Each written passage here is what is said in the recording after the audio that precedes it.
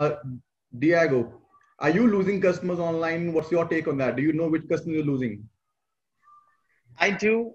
Now there's different there's different levels of losing. I would say in our business, there's people that were considering buying the device and didn't buy it, and there's people that after they purchase the device are buying consumables like the seats and the nutrients, and they stop buying that.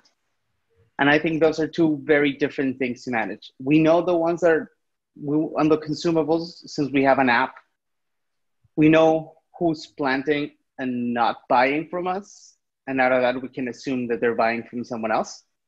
Um, and them, since they're using our platform and they're using our app, it's relatively easy to communicate with them and try to re-engage them. So finding a, a variety that they want, or finding the right uh, bulk pricing, or finding the right packaging presentation, uh, is some of the things that we're working on that side. On the side of if you're ready or not to buy a device of this level of sophistication, I'd say there's two groups. One is at the very beginning of the year, we were ramping very ramping up very quickly with schools. Now, and this is something that schools were dying over. Uh, this is this this is a great device to teach kids about the life cycle. Uh, kindergarten teach about the life cycle, and high school kids about chemistry and, and plant sciences. And with COVID, schools shut down, they're not doing any capital investment in equipment for the classroom because there might not be a classroom for another number of months. Um, so we lost them in terms of customer customers that we were acquiring. Uh, it's starting to ramp up again, but I don't think it's going to be nearly as fast as it was at the beginning of the year. And part of what we're doing is we're working on what other versions of this or what what add-ons could we build around it uh, to enable teachers to do remote while also using a device like this or while also using our device to increase the quality of teaching mm-hmm.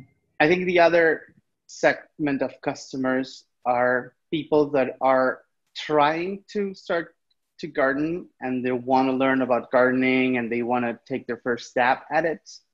Um, I honestly do believe that we're a great product for that.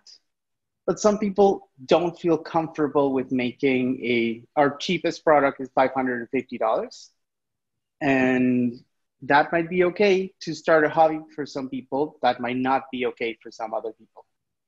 And if you're not there, you're not there. We don't want you to feel that you're spending this crazy high amount of money, which again, for some people it is, for some people it isn't.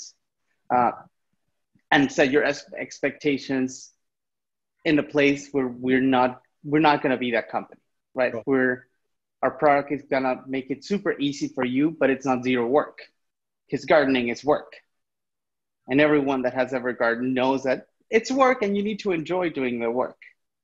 Um, and going back to what you said in the beginning about customer centricity, we're learning what each of these other customers that we're not acquiring proficiently uh, or that we're not great at acquiring really need, and then designing something for them and creating something for them. We're going to launch, uh, we're calling it the personal garden, which is a way smaller version of this garden.